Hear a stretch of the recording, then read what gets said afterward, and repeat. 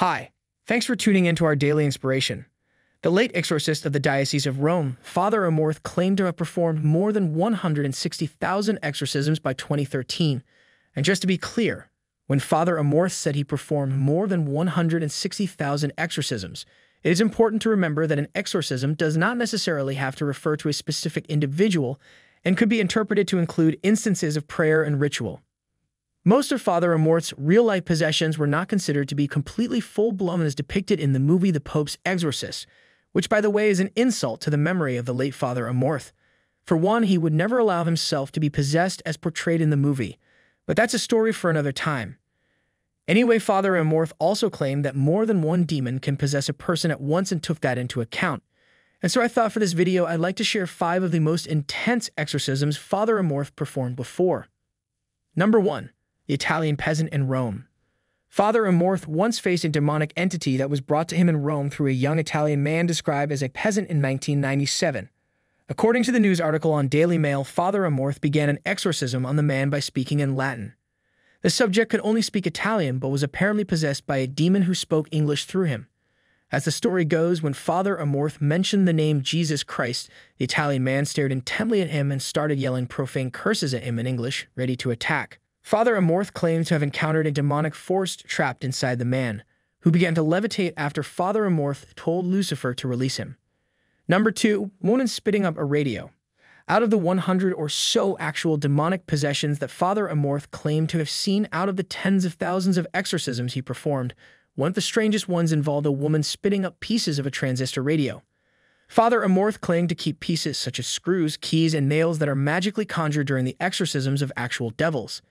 He apparently saw the woman spit out small pieces of a radio after the demon had talked about it extensively during exorcism.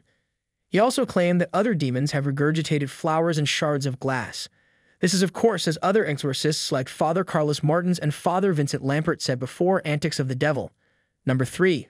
11 year old boy fighting police.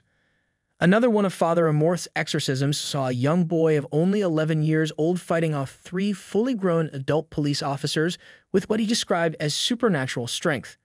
Father Amorth claimed to have witnessed the supposedly possessed boy resist the strength of the three authorities and wrangle free of their grasp, tossing the men off of him.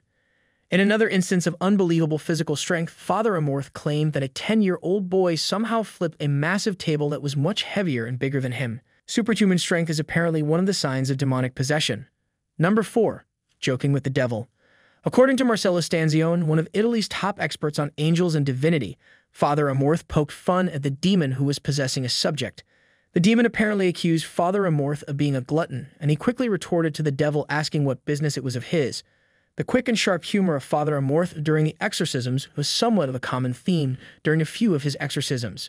He would joke that the devil wasn't afraid of him because he was so unattractive. He was also unafraid of rubbing his finger in the nose of a demon's face as a sign that he could not be overtaken by any demonic entity. Number 5. The Girl from Brescia. In the earlier days of Father Gabriel Amorth's history of exorcisms, he met with another exorcist named Father Negrini in a town called Brescia in northern Italy. Father Negrini had been working on the exorcism of a 14 year old girl when Father Amorth visited him to offer his assistance. Both Father Negrini and Father Amorth asked the devil inside of the young girl why he had chosen her out of all people to possess. The demon apparently said he selected her because she was the best option available. According to the story, Father Negrini would spend the next 12 years trying to free the young girl from demonic possession, and was eventually successful in doing so. Father Amorth claimed that the easier way to attract the attention of dark entities is by engaging in Satanist activities, which he considered pagan and outside of Catholicism. Father Amorth looked down on fortune tellers, Reiki practitioners, and other types of practicing so-called witches and wizards, claiming that something as simple as getting a tarot reading could open the door to demonic possession. He also said that another common way of attracting demonic energies is by participating in activities of talking to the dead, and even said Harry Potter is the king of darkness. He claimed that the possessed woman who was depicted in the William Friedkin documentary, the director of the movie The Exorcist, was cursed because of the woman's brother and girlfriend worshipping the devil. Well, that's all for the video this time. Thank you so much for taking the time to be here with us, and I hope you've enjoyed this video.